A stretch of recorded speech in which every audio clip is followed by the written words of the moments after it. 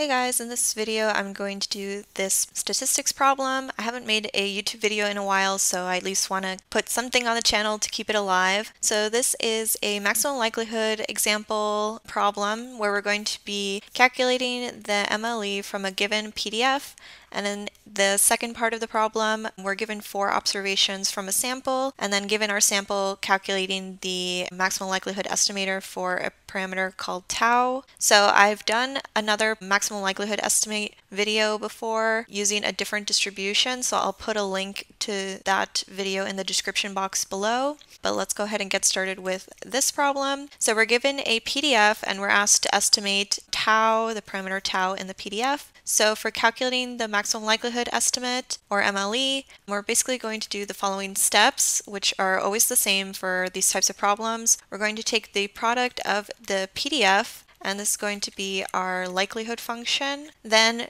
to make it easier to calculate the solution by hand, we're going to take the natural log of the likelihood function, and then we're going to take the partial derivative of the log likelihood with respect to the parameter that we're trying to solve for. So in that case, it's going to be the partial derivative of the log likelihood over d tau, and then we set that equal to zero and try to solve for tau um, so that's going to be some equation and that will be our maximum likelihood estimator. So let's go ahead and do that for this problem. So we're given the PDF here. So I'm going to first take the product of the PDF. So that's going to be the product of tau e to the negative tau x plus 3 tau when I take the product, I just say that's to the n. So this would be tau times tau times tau n times, or tau to the n. Then this is going to be e to the sum of all these terms. So the sum of negative tau x plus 3 tau. I'll write it like that for this step. Next, to make it easier to calculate by hand, we're going to take the natural log of the likelihood. So we're going to take the natural log of tau n e to the sum of negative tau x plus 3 tau. When you multiply um, terms and you take the natural log, that's equivalent to taking the sum of the natural logs. So that's going to be equal to natural log of tau n plus the natural log of e to all of those terms. And then from here we can simplify. So the natural log of tau to the n, I can take this n out. So that's going to be equal to n ln tau plus the natural log of e to something is just going to be equal to the exponential terms. So that's equal to the sum of negative tau x plus 3 tau. Next, I'm going to take the partial derivative of the log likelihood with respect to tau. So for this, this is going to be equal to the derivative of the natural log of tau, which would be 1 over tau.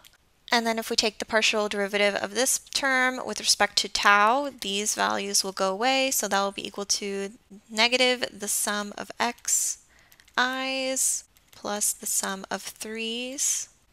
And then we're going to set that equal to 0 and solve for tau. So to do that, I'm going to move the sum terms to the right-hand side. So that's going to be n over tau is equal to the sum of xi minus the sum of 3.